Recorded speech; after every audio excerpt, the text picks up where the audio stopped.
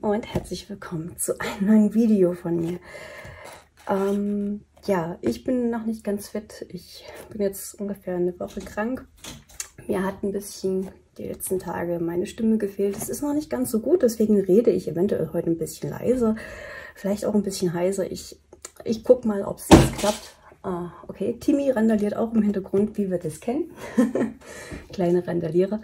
Und ähm, ich dachte, bevor ich jetzt mit dem Paint With Me anfange oder so, ähm, mache ich heute mal was Einfaches. Wir machen nämlich ein Kitting Up und zwar von dem wunderschönen Sanctuary. Und ja, ich denke, das sollte ich hinbekommen. Ich mache mal bestimmt ein bisschen Pause zwischendrin.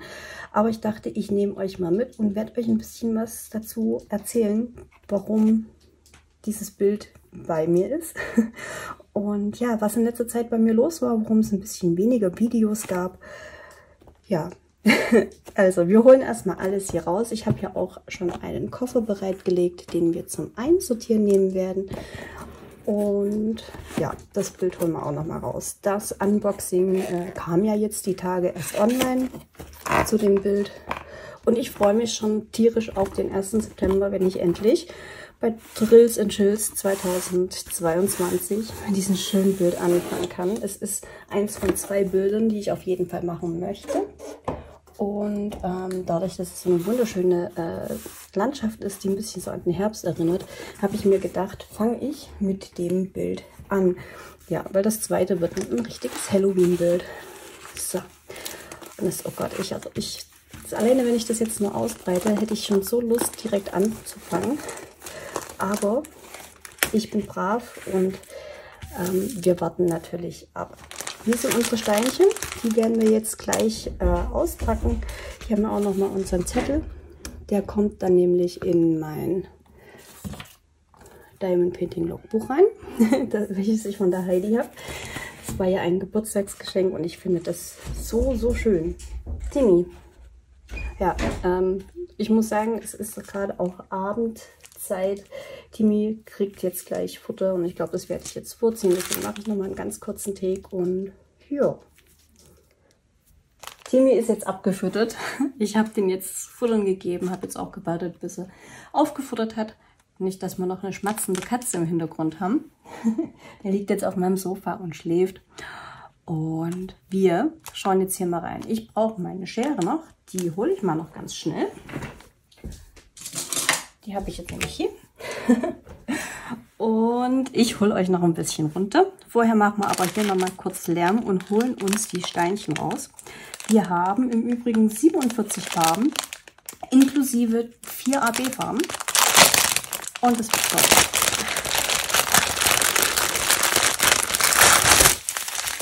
Und was wir dann noch machen, ähm, es kam die Frage bei dem Unboxing, ähm, wo hier auf dem Bild die AB-Farben sind. Da gucken wir dann nochmal nach und ähm, ja, schauen uns die Leinwand in dem, dem Fall dann nochmal ein bisschen genauer an. Aber erstmal machen wir in Ruhe unser Kitting ab. So, also wir haben alles Wichtige da. Unsere Labels, unsere Steinchen, eine Schere und natürlich hier unser Koffer. So. In dem Koffer ist noch das ganze Zeugs drin, was noch laut Hersteller alles mitgekommen ist. Das holen wir aber noch mal mit raus. So. Brauchen wir jetzt in dem Fall nicht alles. Was wir mal noch mitnehmen, sind die Stickerbögen. die könnten wir eventuell gebrauchen, falls wir ähm, ja, äh, ein oder zwei Döschen für eine Farbe mehr nehmen. Denn wir haben ja nur 47 Farben und insgesamt 60 Döschen. Das heißt, wir haben noch 13 Döschen, die wir einfach mit Steinchen noch mit auffüllen können. Und genau das werde ich machen. Was allerdings doch noch fehlt und ich mir jetzt noch ranholen wird, werde, ist nämlich mein Tischmülleimer für mein Müll.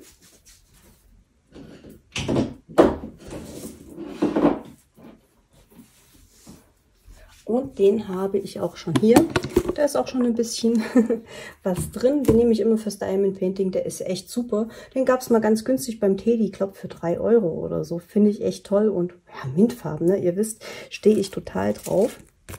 So, und Das schieben wir mal ein bisschen jetzt hier hinter und ich würde sagen, wir fangen mal direkt an. Gucken mal ein bisschen. Wir fangen erstmal mit den Strängen an, bisschen mehr Farben sind. Und die kleineren.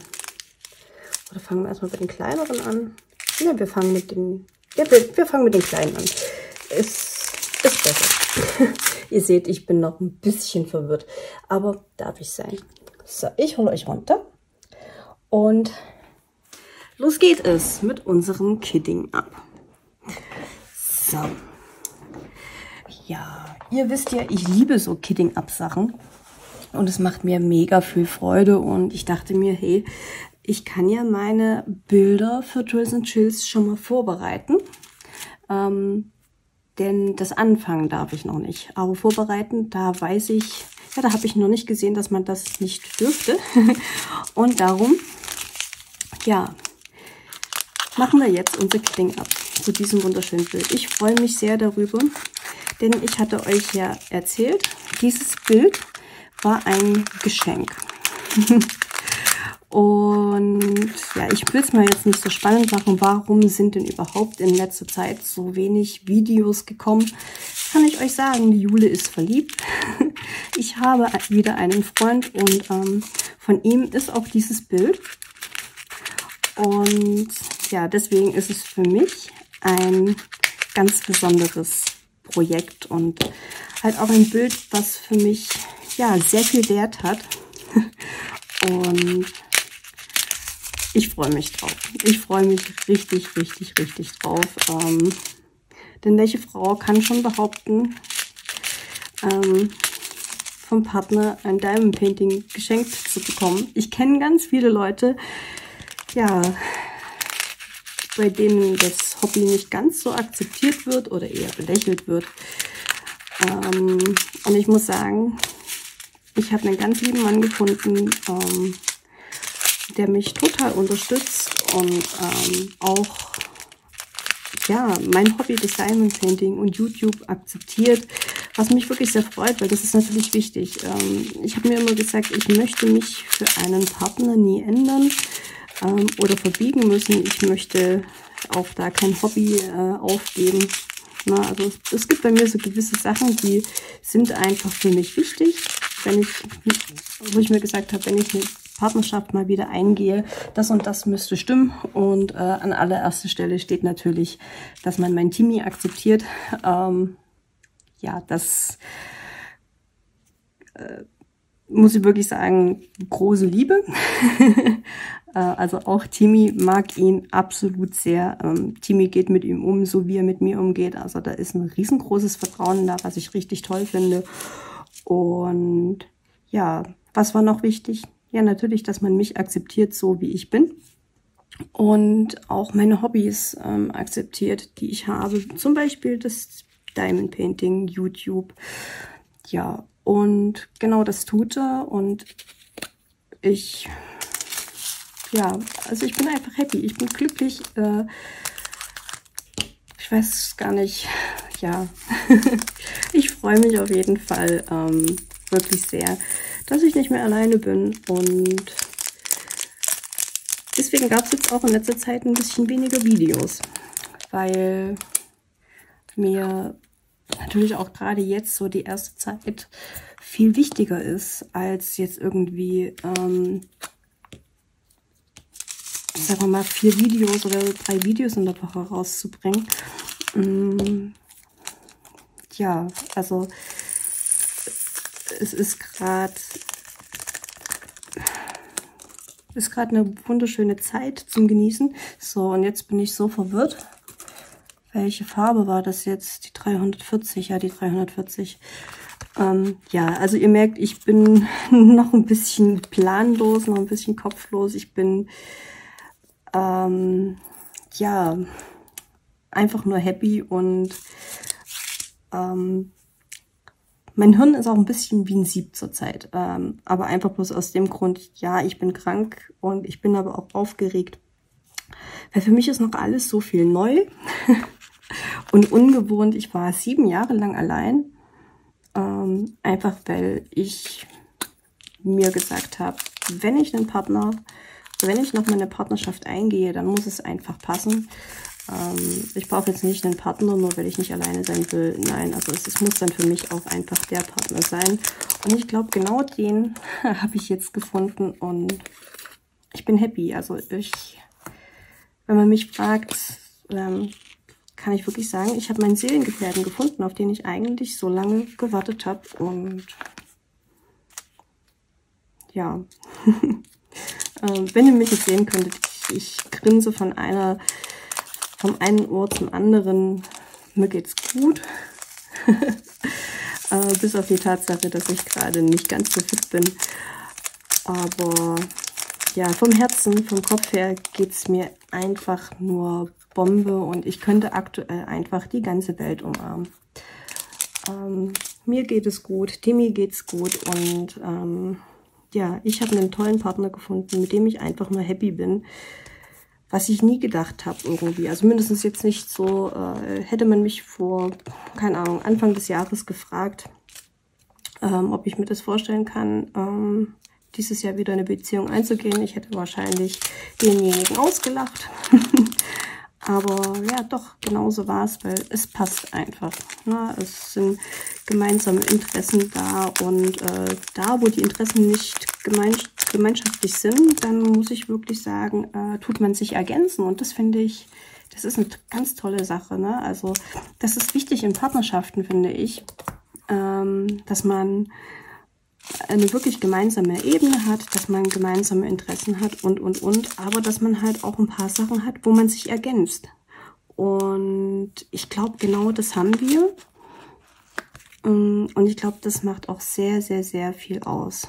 Na, das ist, ähm, also, und vor allen Dingen, was wirklich wichtig ist, ich kann mit ihm so viel lachen. Ähm, er ist ein sehr gefühlvoller Mann und das ist mir halt wichtig.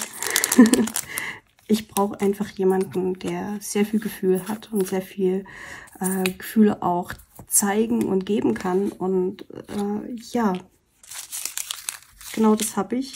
Und das berührt mich megamäßig und ich freue mich schon, wenn er wieder hier ist.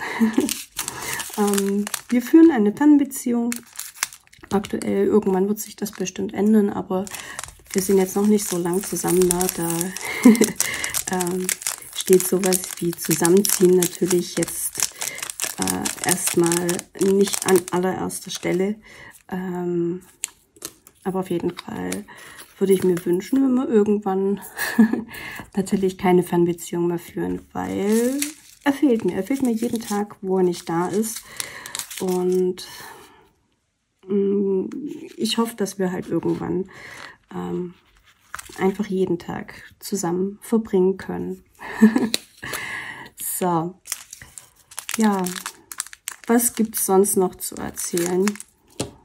Ähm, ja, dieses schöne Bild hat er mir übrigens geschenkt. Äh, da waren wir noch nicht so richtig zusammen.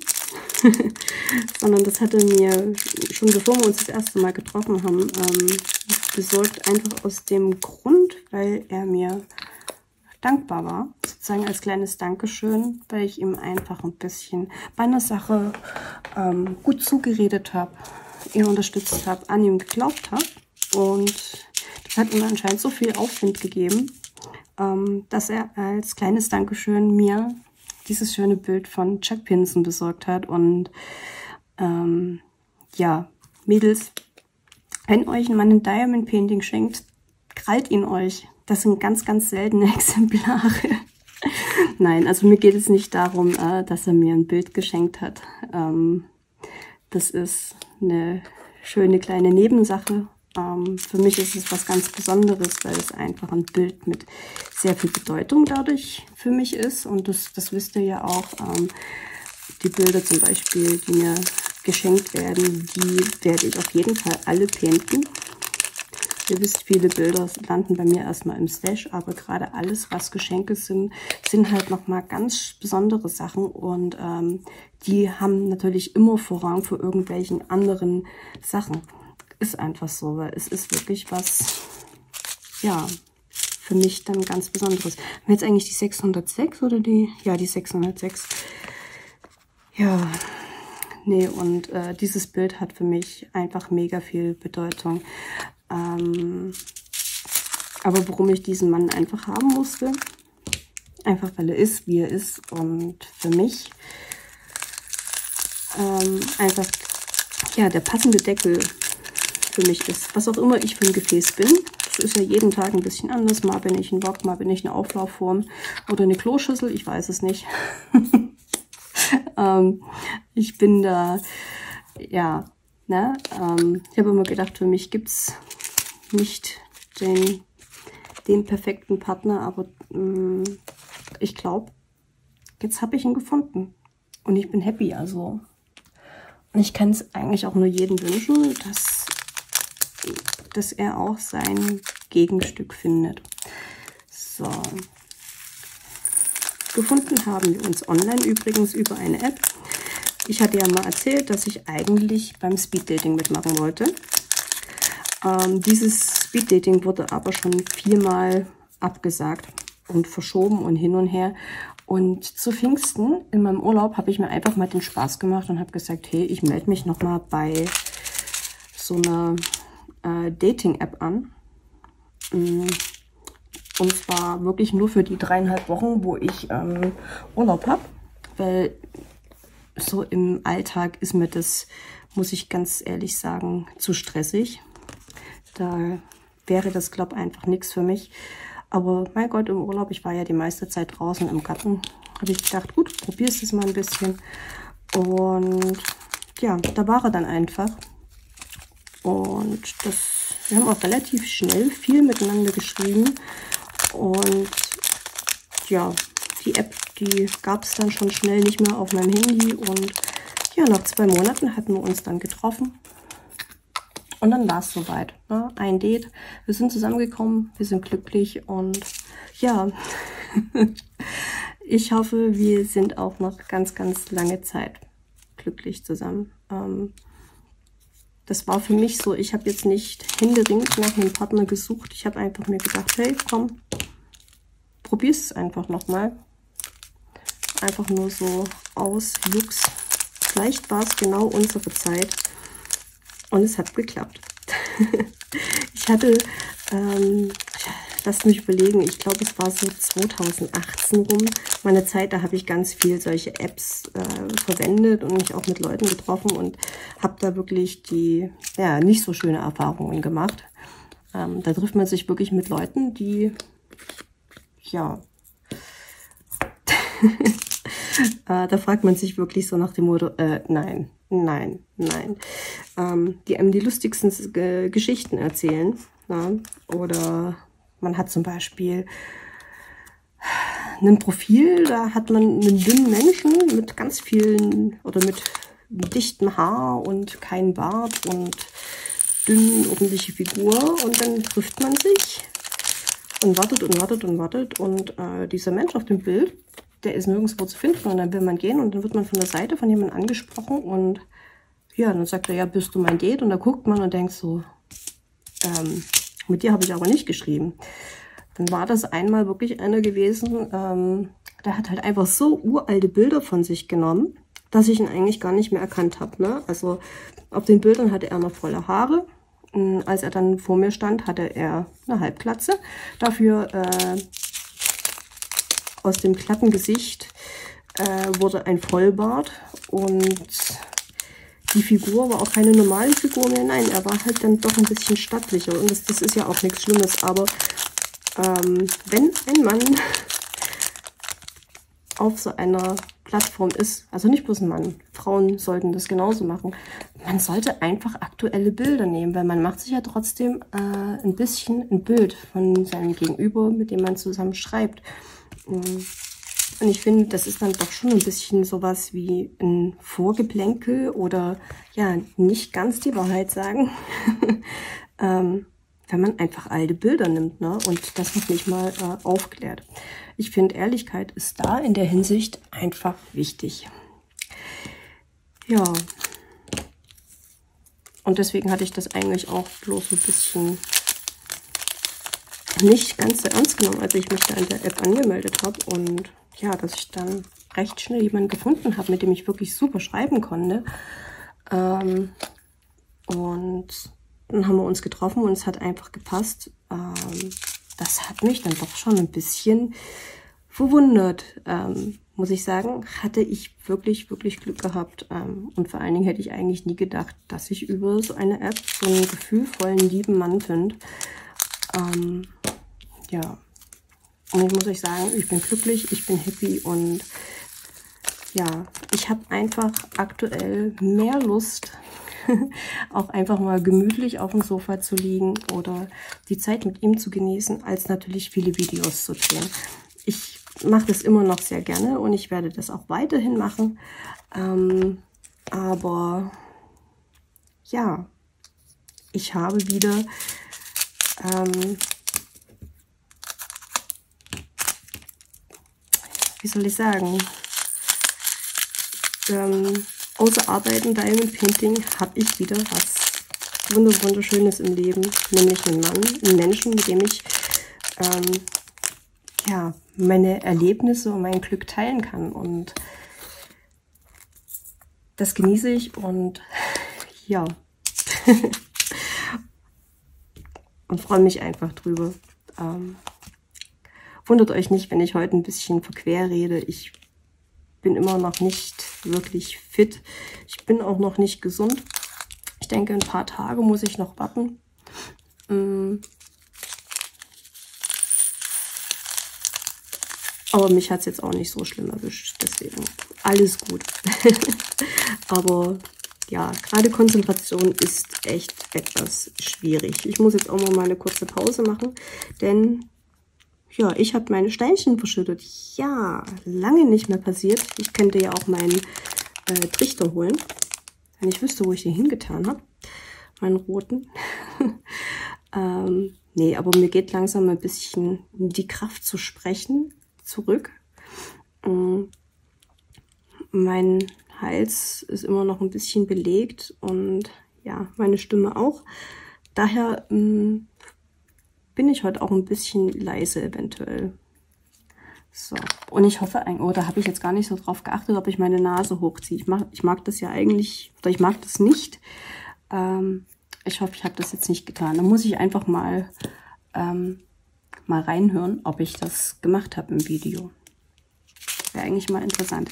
Ich mache jetzt hier noch das eine Tütchen und dann machen wir mal eine kurze Pause. Dann haben wir immerhin schon mal 20 Farben von 47 weggepackt. Und unsere AB-Farben haben wir schon alle. Ach, das ist auch eine schöne Farbe. Guckt es euch mal an. So schön. Das ist die 2, die kommt ähm, im See drin vor. Das ist nämlich das Abendrot, was sich im See spiegelt. So, die 3860 haben wir hier. So. Und dann haben wir erstmal die Tütchen mit den wenigeren Steinen schon mal fertig. So, und ich verschütte weiterhin Steinchen. Einfach, weil ich es heute kann. Aber diesmal waren es nur zwei. So wie es scheint. Ich bin heute aber auch ein Held. Ja, ich bin ein kleiner Schussel. Und das muss ich euch sagen, ich finde es toll, dass ich einen Mann gefunden habe, der meine ähm, ja, Schusseligkeit, kann man das so nennen, ähm, ja, die er mag. Und ähm, das ist schon mal ganz, ganz wichtig. Ich glaube, ähm, das muss man mögen. Wenn nicht, dann hat's man, hat man es bei mir ein bisschen schwierig. Gut, ich mache eine kleine Pause. Wir machen einen kurzen Schnitt im Video und dann geht es direkt weiter. Und weiter geht's. Hatte jetzt mal reingehört in das, was ich vorhin ähm, abgedreht habe, ob ich meine Nase hochgezogen habe. Mir ist jetzt erstmal so nichts aufgefallen, außer dass ich vielleicht ein bisschen viel rumgestammelt habe. Aber darf ich. ähm, ja, also ich würde sagen, wir machen mal weiter. Nehmen uns mal den nächsten Strang vor und schauen mal, wie weit wir kommen. Ich mache dann auch noch ein kleines Zeitraffer weil ich werde heute nicht mehr allzu viel reden können, habe ich so ein bisschen das Gefühl. Aber das ist jetzt auch nicht so schlimm. Äh, es muss ja nicht jedes Video immer anderthalb Stunden gehen. wenn wir heute so auf eine halbe, dreiviertel Stunde kommen, bin ich sehr froh, wenn ich das durchhalte. Ansonsten mache ich einfach eine Pause und mache morgen weiter. Oder die Tage. Es rennt ja jetzt nicht weg. Ähm, ich hatte mich jetzt noch ein bisschen mit Timmy aufs Sofa gelegt und habe mich ein bisschen ausgeruht. Hatte mir noch einen Tee gemacht. Das hilft mir ganz gut. Ähm, und im Übrigen, wenn ihr Halskratzen habt, ähm, da gibt es von Dolo Dogundan so richtig tolle ähm, Lutschpastillen. Die machen den Hals so ein bisschen taub. Die finde ich richtig, richtig gut. Na, äh, Achtung, Spoiler-Werbung. ja, ähm, aber die finde ich wirklich richtig Hammer. Also die nutze ich wirklich sehr gern. Und ja, da habe ich mir jetzt auch noch einen gegönnt. Problem ist, ich schmecke gerade nichts. Und ich hoffe, dass es, das kommt bald wieder. Ich finde das total verwirrend, wenn ich nichts schmecke und wenn ich nichts rieche. Äh, ja, das einzige Gute ist, wenn ich nichts rieche, äh, wenn ich das Katzenklo sauber mache, stürzt mich nicht. so, jetzt haben wir hier die 815. Da werden wir bestimmt zwei Döschen brauchen. Nehme ich mal schon mal eins raus. Ähm, 815. Das ist ein relativ gut gefülltes Tütchen. Da kann man ja schon mal hier ein bisschen Platz machen. So, und dann werde ich ein Label brauchen. Na, da haben wir es. Und einen Stift. Einen Stift habe ich mir auch noch rangeholt. Den hatte ich nämlich vorhin vergessen. Ja, das kriegt man nicht ganz rein aber zwei Döschen reichen da aus. Ups. Da ist noch ein bisschen was. Ich frage mich echt, wo ich meinen Trichter hingetan habe. Ich werde echt, ich werde einfach mal aufräumen müssen. Ganz, ganz wichtig. Ähm, aber das habe ich so und so vor. Einfach mal weiter ausmisten. Das, was ich im März angefangen habe und dann einfach, ja, aufgehört habe. Ähm, ich hätte da einfach dranbleiben sollen. Aber das machen wir dann mal demnächst, wenn ich wieder fit bin. Solange ich nicht fit bin, hat, hat es so und so keinen Sinn, irgendwas äh, anzufangen oder zu planen. Und aktuell ist es wirklich so, ich mache einen Handgriff ein paar Minuten lang und dann bin ich einfach nur fertig und geplättet. Ja, also ich mache fünf Minuten irgendwas und wenn es bloß mal kurz irgendwas abwaschen ist oder was wegräumen. Und dann muss ich mich wieder ein, zwei Stunden aufs Sofa legen, weil ich einfach nur platt bin. Hm. Ich hoffe, das wird dann ganz schnell wieder. das muss meinetwegen nicht, nicht lange so andauern. Ähm, ja, und ich bin froh, wenn ich wieder arbeiten kann, weil wenn man die ganze Zeit hier zu Hause ist, fällt einem dann doch irgendwann die Decke auf den Kopf. Auch wenn es schön ist, wenn man mit Timmy ein bisschen kuscheln kann. Aber sobald ich wieder kann, freue ich mich wieder auf Arbeit. Ja. Was halt auch das Schöne ist, aber dass ich zum Beispiel nur leicht erhöhte Temperatur habe und kein starkes Fieber. Da bin ich ähm, sehr glücklich drüber, weil starkes Fieber ist einfach hm. Habe ich schon ein paar Mal im Leben gehabt. Das ist nicht so schön. Das ist dann doch eher uncool. So. Yay. Und da hat sie wieder ihre Steinchen verschüttet. Zum Glück wieder nur ein paar. Ja, es wird Zeit, dass ich mir meinen Trichter raussuche. Weil so ein Trichter ist wirklich sehr, sehr praktisch, sage ich euch. Also, ne, wenn ihr so ein bisschen schuttelig seid wie ich, schaut einfach mal, ob ihr einen ordentlichen Trichter findet das hilft wirklich Wunder. So, die 3854. Ähm.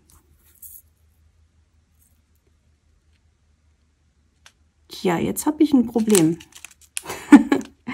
3854 und 3855 eben. Ich glaube, das ist die 3854, was ich hier habe. Also 55. Ja, da habe ich jetzt vor lauter Quasseln, glaube nicht richtig aufgepasst. Ich werde es jetzt einfach so machen. Ich stelle die zwei Sachen mal zur Seite und hoffe, dass sich das dann aufklärt, was ich jetzt hier gerade durcheinander gebracht habe. Willkommen im Jule-Chaos, also mindestens in meinem Chaos im Kopf. ähm, ja, kann ich wirklich richtig, richtig gut. Es wird auch schon langsam dunkel übrigens. Das ist jetzt ein bisschen schade mittlerweile. Ne? Wir haben es jetzt ja schon fast Ende August. In vielen Bundesländern hat die Schule schon wieder angefangen. Oder fängt demnächst die Schule wieder an.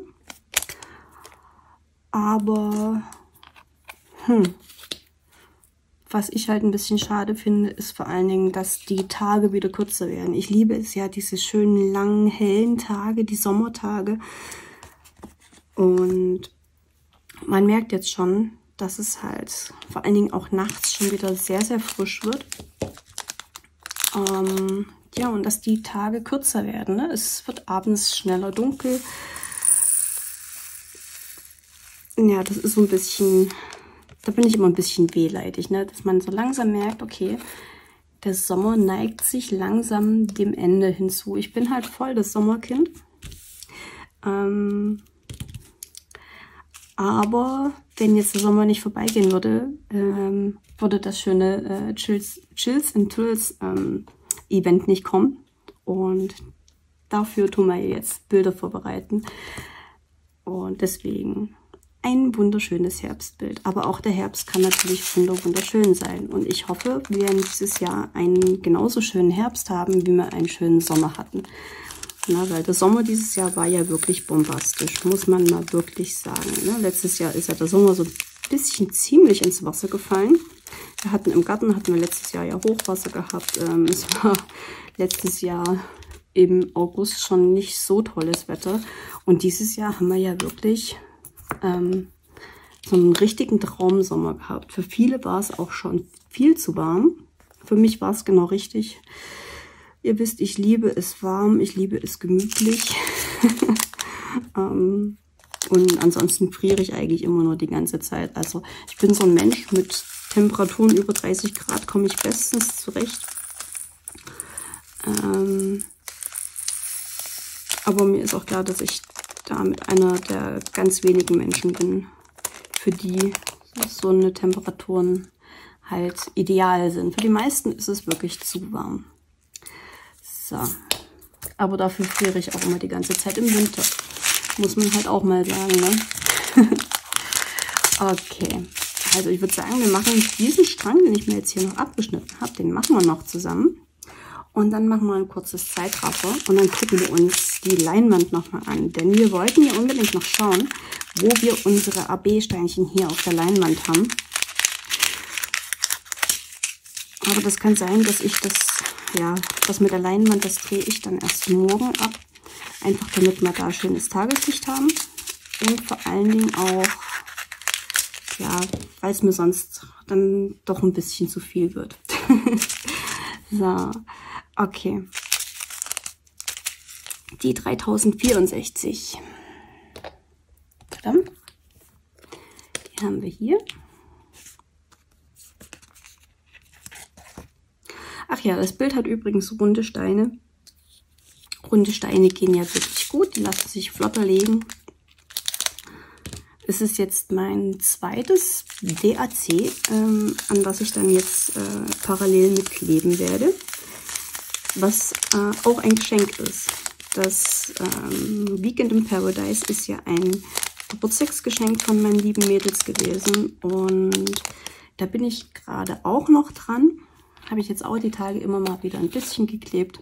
Das sieht immer in letzter Zeit ein bisschen lustig aus. Ähm, die erste Zeit, wo ich krank war, ging mit Kleben gar nicht. Ähm, langsam es wieder ein bisschen. Allerdings ist es immer so, dass ich ein paar Minuten klebe und dann wieder ähm, ja, erstmal auf dem Sofa liege. Und dann kann ich aber wieder die ganze Zeit nicht liegen, weil wenn man halt viel liegt, irgendwann tut einem auch der Rücken weh und ähm, dann will ich ein bisschen sitzen. Sitzen geht allerdings auch nicht lang und deswegen wandere ich immer irgendwie zwischen meinem Paintingtisch und Bett und Sofa hin und her und halte es gefühlt äh, überall nicht so lang aus. ja, wie gesagt, äh, ich fühle mich gerade ein bisschen ähm, zwischen den Wolken. So, die 915, oh, das ist auch so ein schönes Bären, so eine schöne Bärenfarbe. Ein schönes Magenta schon fast. Ja, da sind noch ein paar. Ah, die Steinchen sind einfach wirklich traumhaft von Diamond Art Club. Schöne runde Harzsteinchen. Harzsteinchen in rund sind ja recht selten. Aber wie gesagt, wenn, dann wirklich was ganz, ganz Feines. So, die 3364, nee, 46, so rum. So mal einfach mal die Zahlen verdrehen. Kann Jule auch gut. Ja.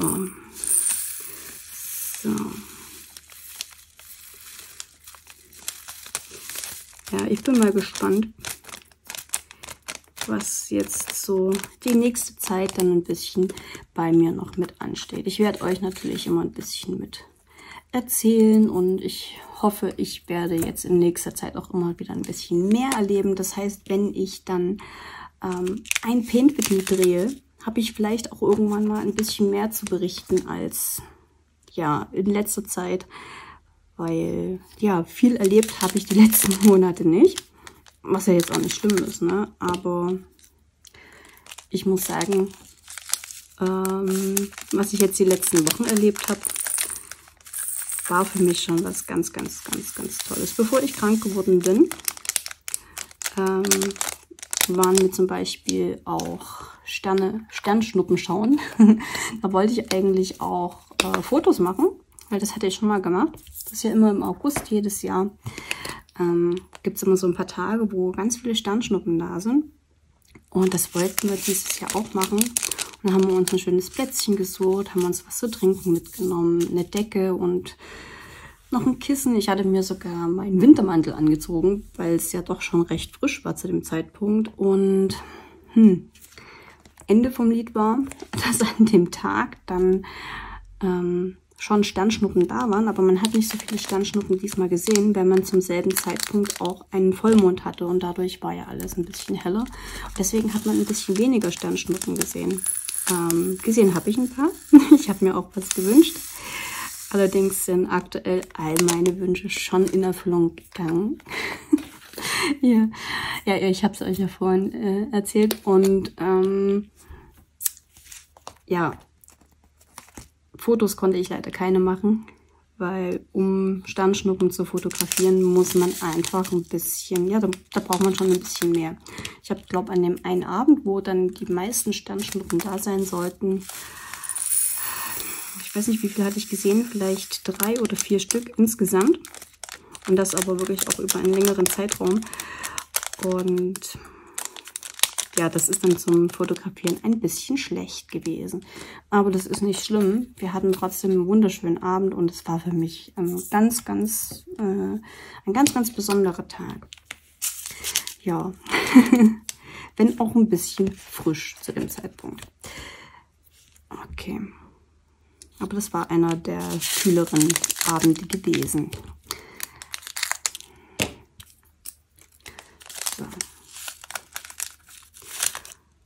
Und jetzt sind wir hier bei unserer letzten Farbe angekommen.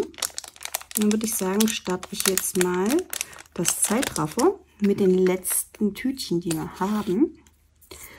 Da könnt ihr ein bisschen beim Liedchen mitsummen und dann machen wir uns über die Leinwand her und schauen mal, wo sich die AB-Farben verstecken.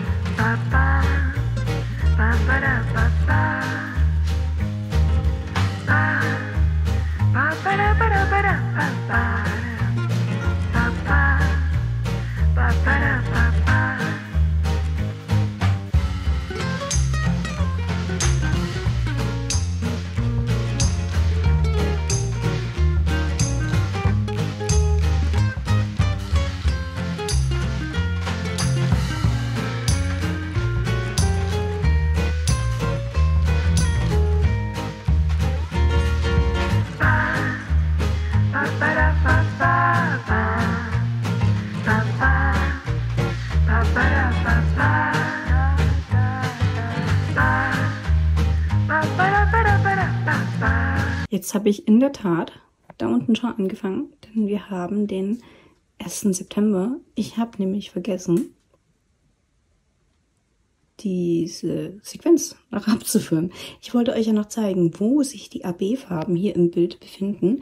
Leider ist es schon etwas dunkel, das heißt, ich habe etwas Licht von oben und das spiegelt sich ein bisschen in unserer Leinwand, mindestens da, wo die Folie drauf ist. So sieht es übrigens aus, angepintet. Da geht es dann gleich weiter. und ja, wir haben vier AB-Farben. Und die Nummer 1. Die Nummer 1 ist eine hellere Farbe. Die haben wir. Ach nee, die 1 ist das Grün. Das Grün haben wir hier oben ein bisschen. Da seht ihr es nochmal. Dann haben wir die Nummer 2. Die Nummer 2 finden wir hier unten im See. Und da ist auch ein kleines bisschen Nummer 3 mit dabei. Die Nummer 3 ist auch hier noch ein bisschen mit ähm, dabei. Ebenso hier unten und auch hier noch mal ein bisschen Nummer 2. Und hier haben wir auch noch mal ein bisschen Nummer 2. ja, also nicht zu viel AB-Farben, aber ein bisschen schön. Gerade hier unten im See finde ich das richtig, richtig toll. Und dann haben wir noch die Nummer 4. Und die Nummer 4 finden wir ähm, etwas verhäufter hier in dem weißen Baum. Und ein bisschen hier mit dem Wasserfall finde ich auch sehr schön ähm, ausgesucht und eingesetzt. Und ich bin, wie gesagt, sehr gespannt, wie es aussieht, wenn die AB-Farben dann gesetzt sind. Es ist auf jeden Fall ein wunder wunderschönes Bild und ähm, ich bin froh, dass wir jetzt angefangen haben. Und ja, bleibt mit dabei. Demnächst kommt dann auch das Video, ähm, was ich jetzt heute auch mit angefangen habe, ähm, wie ich mit dem Bild anfange. Ähm, und ein bisschen Paint with Me und Gequassel zu Drills and Chills 2022. Ihr Lieben, ich danke euch, dass ihr mit dabei wart. Hier bei dem Kitting Up von diesem wunderschönen Herzensbild von mir. Und ich hoffe, wir werden ein paar schöne Videos haben, die wir hier ähm, drehen können mit dem kleinen Kunstwerk. Und ja, wenn euch das Video gefallen hat, lasst mir doch sehr gerne einen Daumen nach oben da. Und seid ihr neu auf meinem Kanal, dürft ihr den Kanal auch sehr gerne kostenlos abonnieren. Da verpasst ihr nichts Neues mehr hier auf Troafias Welt. So, da haben wir nochmal das Bild. Sanctuary bei Chuck Pinson, Diamond Art Club. und ihr seht auch schon, na, ne, wie die Steinchen glitzern und funkeln. Einfach super ähm, DAC-Qualität. Ja, das ist, ich bin sehr, sehr, sehr zufrieden. Okay, ihr Lieben, ich wünsche euch noch einen wunderschönen Tag und bis bald. Danke, dass ihr reingeschaut habt. Bye, bye.